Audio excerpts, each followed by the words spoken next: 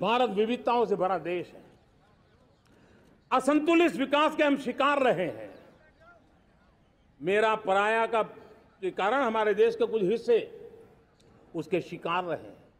अब हमें regional aspirations को, संतुलित विकास को बल देना है और रीजनल एस्पिरेशंस को लेकर के उस भावना को हमें सम्मान देते हुए, जैसे हमारी भारत माँ का कोई, हमारा शरीर का कोई अंग अगर अविकसित रहे तो हमारा शरीर विकसित नहीं माना जाएगा।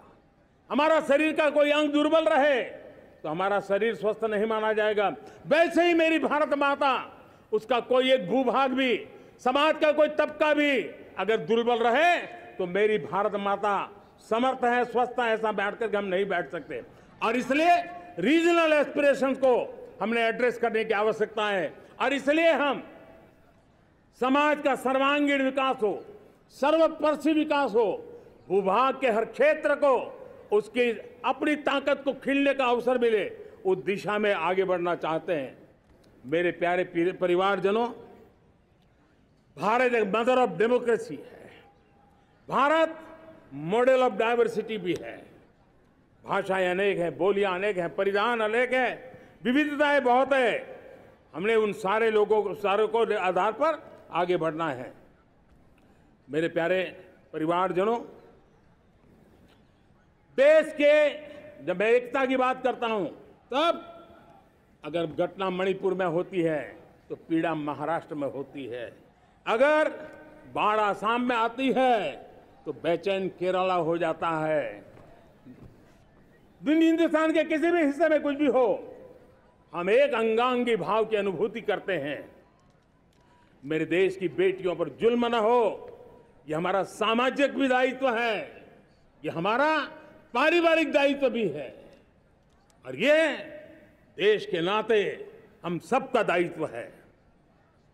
आज जब अफ़गानिस्तान से गुरु ग्रंथ साहब का स्वरूप को लाते हैं तो पूरा देश गौरव की अनुभूति करता है।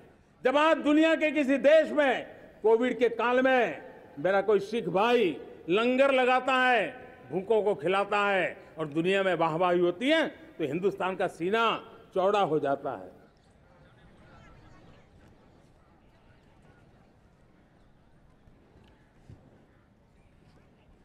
मेरे प्यारे परिवारजनों, हमारे लिए जब नारी सम्मान की बात करते हैं, मुझे अभी एक देश में दौरा कर रहा था तो वहाँ एक बहुत ही सीनियर मिनिस्टर उसने मुझे एक सवाल पूछा। उसने कहा, आपके यहाँ बेटियाँ साइंस और इंजीनियरिंग के विषयों की पढ़ाई करती हैं क्या? उसमें क्या था मैंने उनको कहा, आज मेरे देश में लड़कों से ज़्यादा बेटियाँ आज स्टेम स्टेम यानी साइंस टेक्नोलॉजी इंजीनियरिंग और मैथ्स अधिकतम भाग मेरी बेटियाँ ले रही तो उनके लिए अचरज था। ये सामर्थ्य आज हमारे देश का देख रहा है। मेरे प्यारे परिवारजनों, आज 10 करोड़ महिलाएँ विमेन सेल्फ हेल्प में जुड़ी जुड़ी हुई है। और विमेन सेल्फ हेल्प ग्रुप के साथ आप गाँव में जाएँगे तो आपको बैंक वाली दीदी मिलेगी, आपको आंगनवाड़ी वाली दीदी मिलेगी, आपको दवाई देने वाली दीदी मिलेगी और अब मेरा सपना है दो करोड़ लखपति दीदी बनाने का।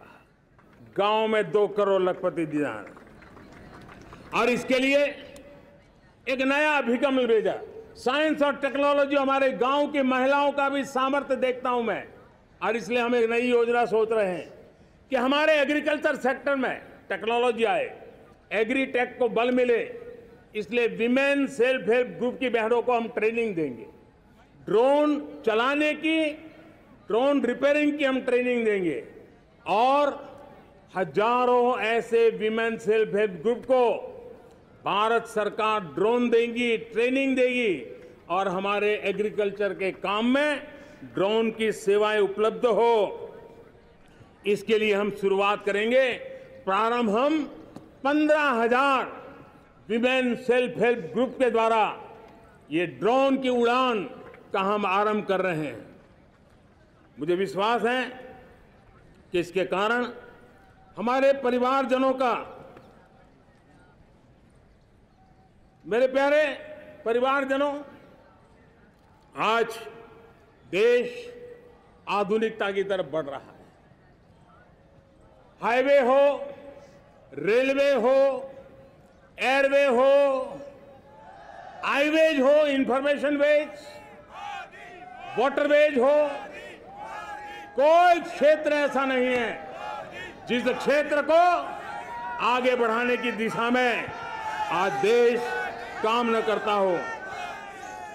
पिछले नौ वर्ष में तटीय क्षेत्रों में हमने आदिवासी क्षेत्र में, हमारे पहाड़ी क्षेत्र में विकास को बहुत बढ़ दिया है हमने पर्वतमाला, भारतमाला ऐसी योजनाओं के द्वारा समाज के उस वर्ग को हमने बल दिया है।